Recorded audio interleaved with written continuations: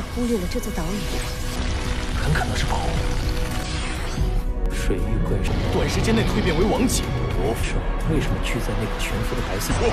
淡淡的白色光一的晶体，霸王，是木牙精。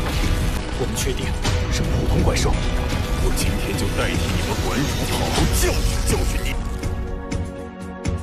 嗯，你这是在跟谁？